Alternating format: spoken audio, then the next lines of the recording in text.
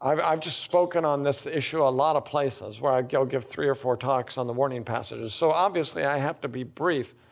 But the heart and soul of, of what uh, I'm saying is I believe that warning, I believe all the warning passages, maybe I should back up. Yeah, as I think about this, how should I approach this? I believe Hebrews is a sermon you receive this message of exhortation, uh, parakleseos. It's a sermon. Uh, Acts 13, 15, when this is the same Greek word, when they asked Paul, Do you have any word of encouragement? It's translated differently here, but same idea, right? And Paul gives a sermon.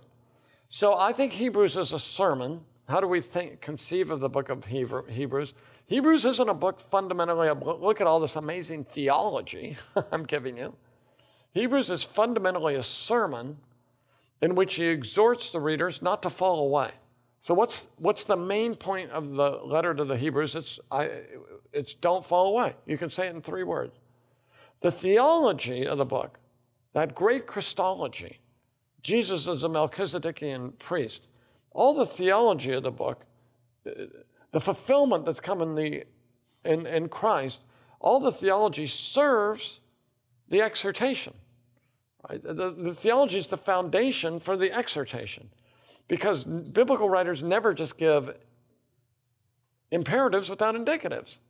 Because imperatives without indicatives are just legalism, right? They never do that. They always give you the imperative. The imperative undergirds the indicative. So, um, the imperative is don't fall away. Now, the question is who's he talking to?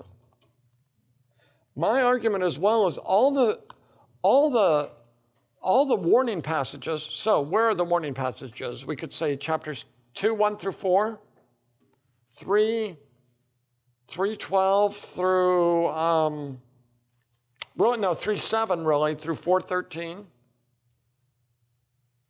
511 through 612, 68. You know, where they end is sometimes hard to determine.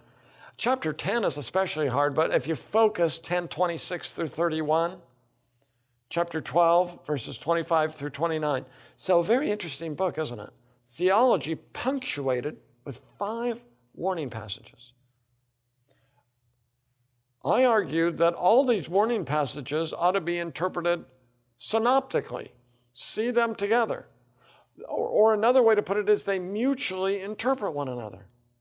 Or another way to put it is they're all saying the same thing. it's a sermon. He wants these people not to fall away. He gives them exhortations not to fall away. So it's or it's kind of like a kaleidoscope, right?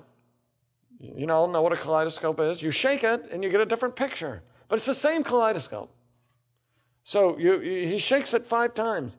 And, and it's like any good preacher. He has a main point he wants to make, and he returns to it again and again, and he says it a little different way every time. But it's all one main point. What do I like about this for pastors and for teachers?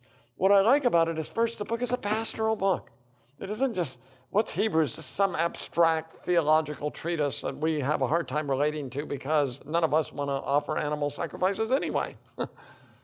Uh, No, that's not what the book is fundamentally about. And, and the other thing I like about it is some people think, oh, Hebrews is so hard. But I, but I want to argue, yes, it can be difficult. It's not so hard. The main point of the book is easy to see. So, so when we read it, we have, we have, uh, we, we know the lay of the land. We know where we're going, you know? So we, we see what he's doing and we interpret everything in light of the whole. So I'm, I'm always about a simplicity on the other side of complexity, right? To be simplistic, that's bad, isn't it? But there's a simplicity on the other side of complexity, that's good. And as pastors and teachers, we really want, we want to be simple you know, I, I preached to a lot of seminary students from the beginning, but I, I said to myself, I'm going to preach in this church the way I would preach no matter who's here. I'm not going to preach to seminary students. I'm going to think of how I'd preach with children as well. And actually, over the years, I, I regularly in my sermons address the children. Uh, not every sermon, but I'll stop and address them just to say, hey, you're part of this congregation. So, anyway, simplicity on the other side of complexity. So, the question is if all the warning passages synoptically are to be synoptically interpreted, if they mutually interpret one another, what do we do with this warning passage, which is the most famous, right? What do we do with Hebrews 6? I would argue that the descriptions there are descriptions of believers. They were once enlightened. That most naturally refers to conversion. And in fact, the author uses that expression one other time. Remember the earlier days when, after you had been enlightened, you endured a hard struggle with sufferings. Sometimes you were publicly exposed to taunts and afflictions. That enlightenment there is most naturally understood to refer to their conversion.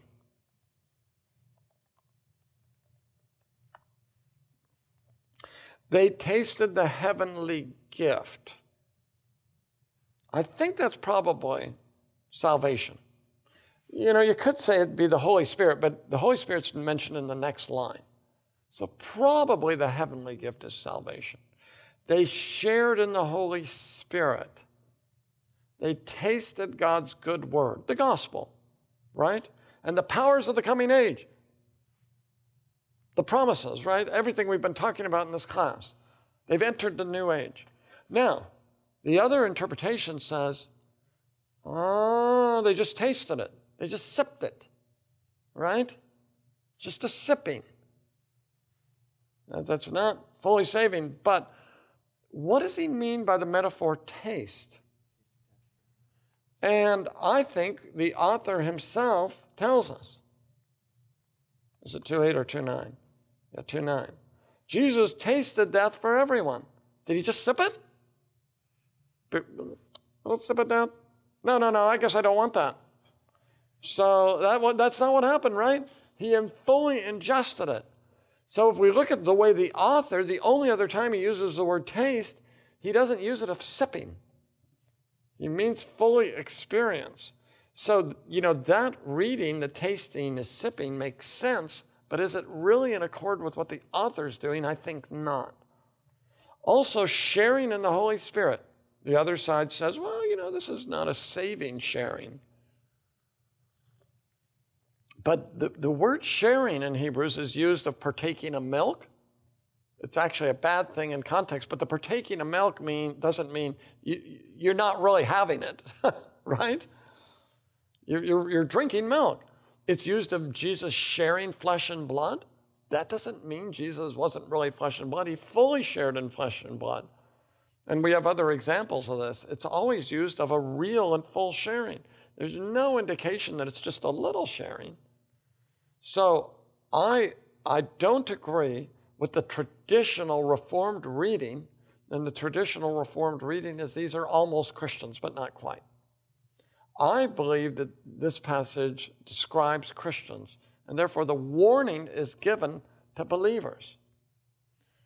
Charles Spurgeon is an advocate of my view. Charles Spurgeon, I'm, I'm paraphrasing the quote, Spurgeon says, you know, if you read Dr. Gill, Dr. Owen, and all the great reformers, they say these people are not quite Christians. And he says, I love and respect them all, but when it comes to this passage, their judgments are a little bit warped. because he said, even a child, maybe, maybe he overemphasizes it, but I love it. He says, even a child recognizing this passage would recognize they're Christians because it says they have the Spirit. And the Spirit is the mark of having a believer. Wayne Grudem, my, by the way, Wayne Grudem is a very dear friend of mine. I, I know Wayne well personally. I love Wayne to death. So um, he is he is a dear a dear colleague and friend. And Wayne's written an article in the book Bruce Ware and I edited, Still Sovereign, and I asked him to write this article. And I knew I disagreed with him when I asked him to write it. Why would you do that? Because I was already writing two articles in the book and I couldn't write a third one. And, um, and, and, and Wayne holds the traditional reform view. And I knew he'd do a great job explaining it. And I think he did do a great job. And I salute the work Wayne did. I think it's fantastic. And I think it's wrong, you know? So there it is. We disagree on that, and uh, we'll find out when we go to heaven who's right, right? But but Wayne argues, look, look, they're not really Christians because it doesn't say they're forgiven of their sins. It doesn't say they were sanctified, and he goes through this list of 18 things it should have said if they were really believers. But my reply to that is, Wayne, you're cheating. That's cheating. You can't set criteria in advance about what an author has to say. You have to deal with what he does say. And, and, and to say that they have the Holy Spirit, what else do you want?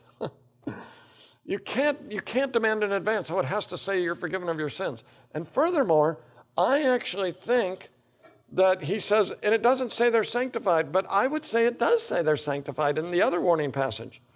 They profane the blood of the covenant by which you sanctified. It does say they were sanctified. But when Wayne comes to that passage, he goes, well, that's not real sanctification. That's like the sanctification that comes through the blood of animals, which doesn't really cleanse. Interesting argument, fascinating argument. I mean, Wayne's brilliant, right? That's a very creative, interesting argument. But my argument is he's talking about the blood of Christ. He's not talking about the blood of animals. You're actually reversing everything the book is doing.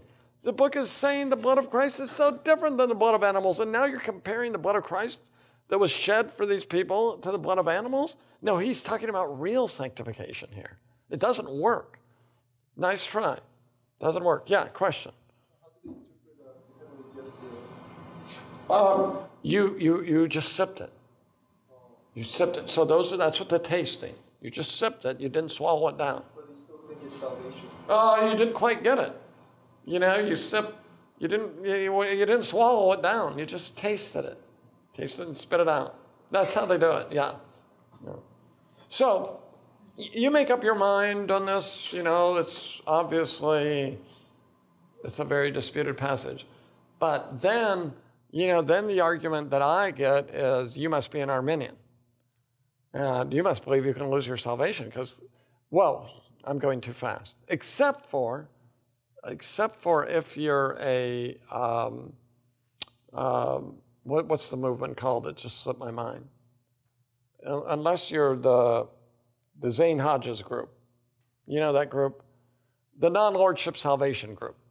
They say, oh, these, these passages are addressed to Christians and they're just talking about rewards. But they're the only interpreters in the history of the church who've thought that. And it's clearly wrong. I'm not going to spend time on that. They're, they're the can't lose exegesis people. I mean, he talks about trampling the son underfoot and facing God's vengeance, and they say you're just losing your reward. I think it's, that is such an improbable view. So hardly anybody holds that view except for them. Actually, you know, they're around, right? That group is around, uh, but I think he's clearly talking about salvation and final judgment. So the Arminians say, look, it's written to Christians, if you fall away, you'll be damned. That's the end of the passage. The argument Caneday and I make, Spurgeon made, we're not the only ones, others in the history of the church, is these warning passages are always effective in the lives of the elect. Those who are elect always heed the warnings, so that the warnings are always effective in those who are truly saved. Were there some in the Hebrews community that weren't truly saved? Probably. But he specifically addresses believers. The warnings are a means by which those who are saved are preserved. Some people say, why do you need them? If you're going to be preserved, you don't need the warnings. My argument in response to that is the Bible says we need the means. The Bible says we need them. So I'll give you an example or two. I'll give you two. And then I think I'm going to go right to Revelation because time is passing, okay?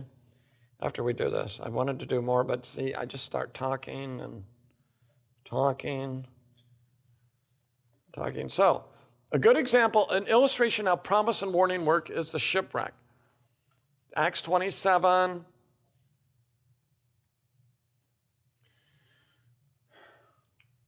You know, they're having the shipwreck, they sail at a bad time. Paul stands up. I love this story. You know, Paul's a prisoner on the ship, but he's like the, he's like the captain, isn't he? Paul's such a leader. Has there ever been a prisoner who acted like this on a ship? Anyway, you know, it's the middle of the storm, everything falls apart, right? They've been without food for a long time. Paul stands up and says, You men should have followed my advice. That's my life verse, right there. You know? Just post that on your wall as pastor, right? There it is, you have it. Maybe I'm taking it out of context. So, anyway, Paul just had to say, by the way, I was right. We made a mistake here. But let's go on. Now I urge you to take courage because there will be no loss of any of your lives, but only of the ship. Promise, no loss of life. Right? How do you see know that? Last night, an angel of the God I belong to and serve stood by me. Hey, that's a pretty good reason not to know it, right? I mean, to know it. An angel told him. Isn't that a great description of a Christian? What does he say? He, doesn't he witness to them even in saying this? I belong to this God, I serve this God. And the angel said, Don't be afraid, Paul. It is necessary for you to appear before Caesar, that is, get to Rome. And indeed, God has graciously given you all those who are sailing with you. What did the angel promise you? Every single person on the ship is going to live. And that's how the story ends. All 276. And Luke is careful to say, all 276 live. Promise. What would you have done if you had gotten a promise like that? I'll tell you what I would have done. I would have gone down in the hold of the ship I would have had my lunch, as Paul did. I would have gotten Netflix out, turned it on, and said, let's just watch some movies or a series before this ends, you know? A good time to binge watch, you know? And, and then we'll just see how this all turns out. But that's not what Paul did. So, verse 27 When the 14th night came, we were drifting in the Adriatic Sea and about midnight, the sailors thought they were approaching land. They took soundings and found it to be 120 feet deep. When they'd sailed a little farther and sounded again, they found it to be 90 feet deep. Obviously, it's getting shallower, getting close to land. Then, fearing we might run aground on the rocks, they dropped four anchors from the stern and prayed for daylight to come. Some sailors tried to escape from the ship. They let down the skiff, the little boat, right, into the sea pretending that they were going to put out anchors from the bow. So some of the sailors were going to escape. Paul says, unless these men stay in the ship, you cannot be saved. Warning. If you let these people go, you're going to die. Why, he's already got a promise. Why, why is the warning? Paul apparently believed warnings fit with promises, right? The, the warning is the means by which the promise is secured. That's how it works. And it always works in the lives of the elect. Another example Mark 13. We won't worry about how you interpret these verses eschatologically. We could be there all day, right? But verse 21, or speaking of the tribulation, it's going to be terrible, right? Verse 20. If the Lord had not cut those days short, no one would be saved. Whether that's physical or spiritual is debated, but but he cut the days short for the sake of the elect whom he chose. Then, if anyone tells you, See, here is the Messiah, see there, do not believe it. For false messiahs and false prophets will arise and will perform signs and wonders to lead astray, if possible, the elect. To believe, I would say this if you believe in a false messiah, you're not a Christian. If you say, Joe over here is the Messiah when Jesus is the Messiah, you don't believe in the true Messiah, you're not saved. You're not saved if you believe in a false Messiah. And he says the signs and wonders are so great, whatever event you refer this to, we're not worried about that here, that you, even believers would be prone to believe in these false messiah. She said they could lead astray, if possible, the elect, but it's not possible, right? The elect can't be deceived. You won't be. You can't be. Why not? You're elect. But what's the next thing he says? And you must watch. I've told you everything in advance. Be alert. And that's how the, you know, it's all the same context. What does he say? Watch, be alert. And what I say, I say to you, everyone, be alert. Watch out. Be ready. What does he mean? Be spiritually ready. Don't believe in a false Messiah. I've told you all this. The warning, the promise. You won't be deceived. Watch out that you're not. right? The two come together. So the, the warnings are the means by which the promises are secured. That way, we can take the warnings seriously when we preach and teach them we can say to people what the Bible says. If you deny Jesus, he'll deny you. If you fully and finally deny Jesus, Peter denied Jesus, right? But he repented. But if you fully and finally deny Jesus, he'll deny you. You'll go to hell. Those who are truly saved, they won't do it, right? They'll finally repent. Okay, do you want to say anything about this? Questions, comments?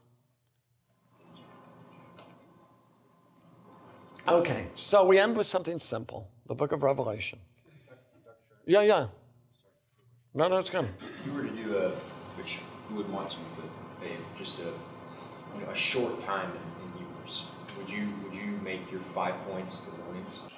Like if you were to do a five week series No, I would do no because I'd want because I'd be afraid that they'd just understand the warnings without understanding the background. So I think I, if I were doing a five-week series in Hebrews, I'd just give them a big sweep of the. I'd probably do. I would do all five warning passages, but I'd also include the theology in each one as kind of the background for the warning. I think. Yeah. Yeah, Hebrews would be tough to do in five. Could be done though. There's a place. You know, Mark Dever preaches these one-off sermons on each book, which is I, I only did that with the Pentateuch. And with Genesis, I did two. I just couldn't do one. But I did it Genesis, Exodus, Leviticus, Numbers, Deuteronomy. That's the only time I did it. It almost killed me, and I never did it again. But it's, but it's probably a good thing to do. I probably should have done it more. I just couldn't. I never did it with the New Testament book. So, okay, Revelation. So, you know, there are many different views of Revelation in evangelicalism, of course. Um, And uh, that keeps us, you know, gives us something to argue about, stuff like that, right? So, of course, Revelation says Jesus is coming soon. Liberals read that and say, look, it didn't, it didn't happen. Revelation is wrong. You know, that, uh, what's the liberal appropriation of Revelation? Jesus got it wrong. John got it wrong. Jesus didn't come back.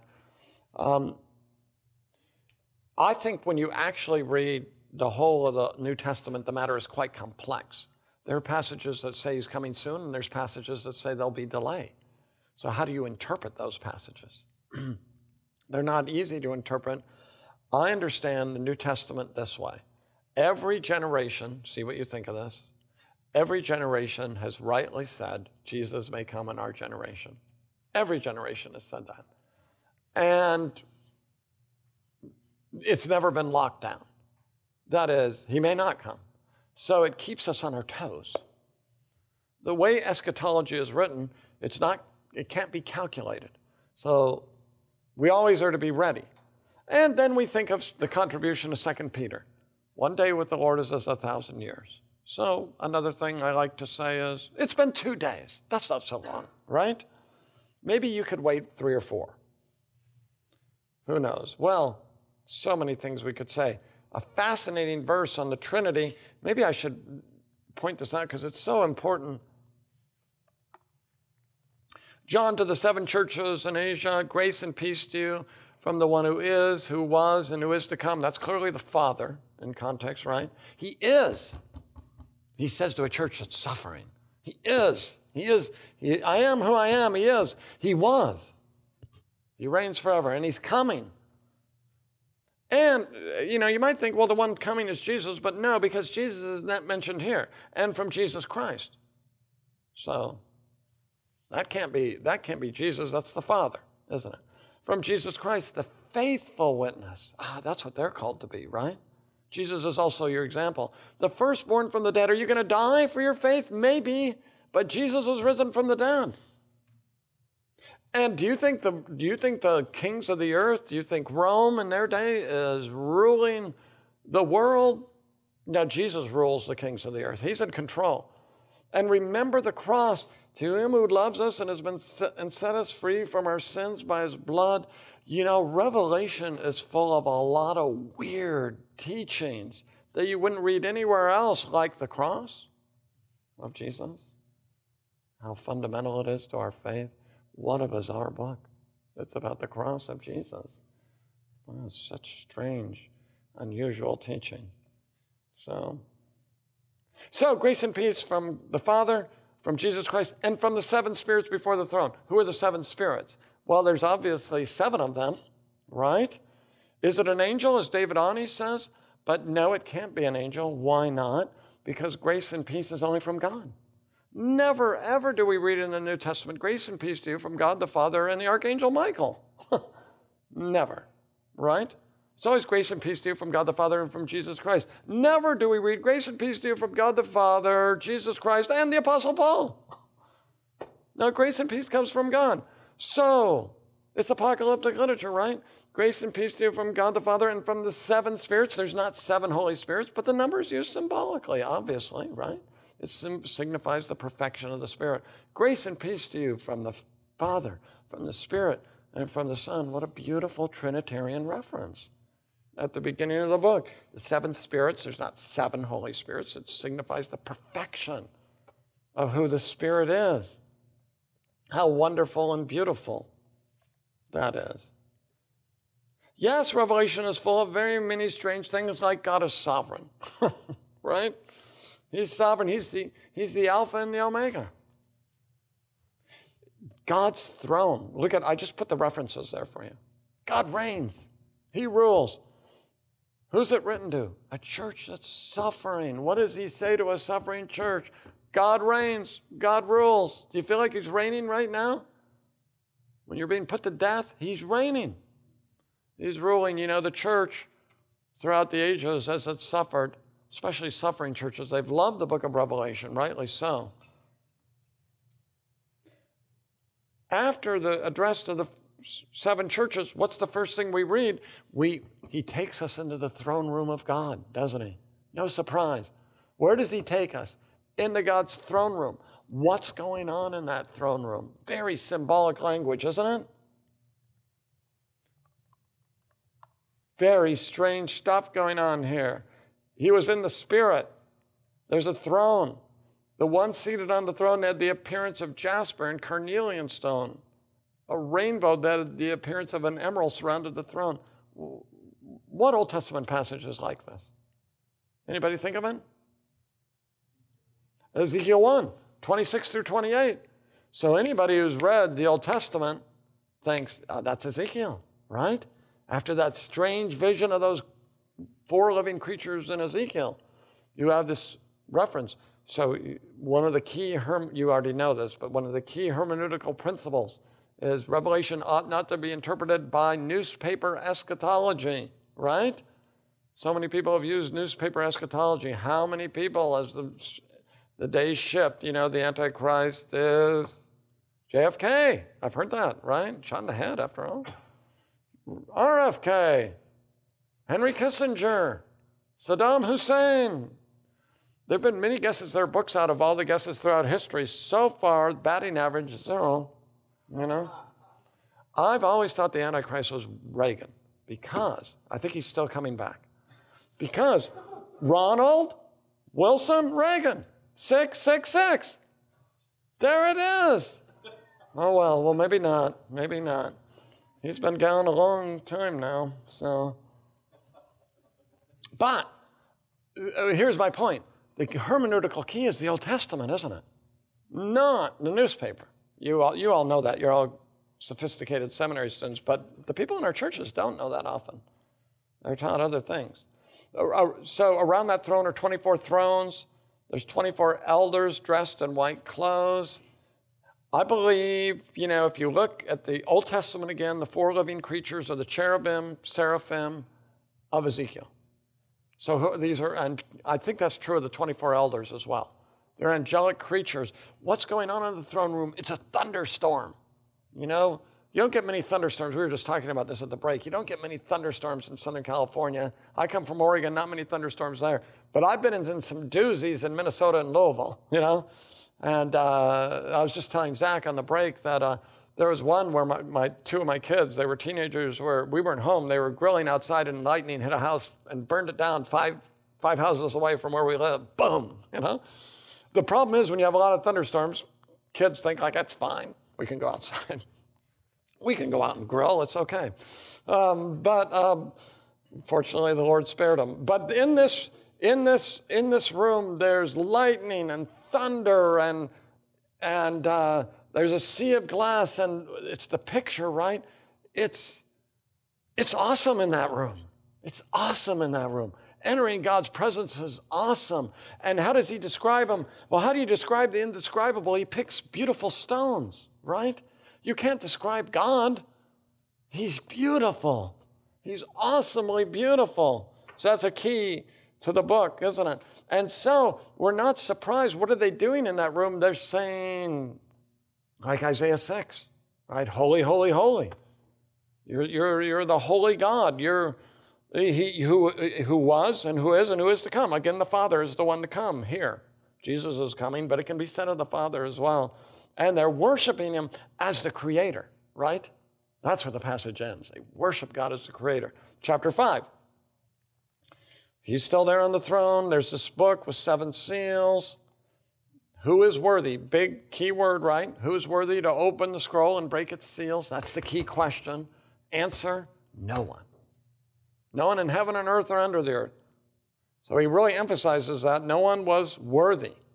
No one was found worthy to open the scroll. Yeah, I'll take a question in a minute or look into it. Then one of the elders said to me, Don't weep. Look, the prophecies are fulfilled. He's the lion of the tribe of Judah. He's the root of David. The Davidic covenant has become a reality. The promises, the promises God has given, Revelation is saying they've been fulfilled. He's able to open the scroll and its seven seals. So, a key in Revelation the elders said, Don't weep. But when he looked, right? He doesn't see a lion, but he sees a lamb. He doesn't see a lion. He's told he's a lion, but he sees a lamb. Is it a lion or a lamb? It's both, right? It's both. It's apocalyptic, you know? It's both. Because he wins his victory by being a lamb, a slaughtered lamb. He doesn't conquer his enemies by just ravaging them the way a lion would. He wins the victory through the cross. That's what Revelation is saying. Oh, how strange Revelation is. Jesus wins the victory through the cross, you know? That's what we find out in the rest of the Bible. Not so different. They sang a new song. What are they singing? You're worthy. You are worthy because you were slaughtered. So there's the cross. And you purchased people for God by your blood from every tribe and language and people and nation. I believe, we're not here to talk about this, but I believe that verse supports definite atonement. You purchased some from every tribe, tongue, people, and nation. And you made them a kingdom and they'll rule. And then they worship, they worship the Lamb. So, you know, that, those are just very programmatic passages for Revelation. Uh, I, I kind of went ahead there just because we are in that text, because I'm really on God's sovereignty. The kingdom was given to the beast. And here I just note the word edothe, and, and maybe we should just look at one of them. I just want you to see it in Greek as well. You may be very familiar with this, but in Revelation, again and again, we're told that it was given to the beast. And I argue, along with many interpreters, that that's God. That's God. The beast's authority, the beast's authority to, to rule and reign, that kind, God gives it to him at the end of the day. God's sovereign. So the, the, the, the beast's authority is not, is not an authority finally has. Now, Satan gives the beast the authority, doesn't he? But over that is God, kind of like the book of Job. Satan gives the beast the authority, but God's, God's sovereign. So he's saying, no king is, no ruler is finally doing to you what I haven't allowed them to do.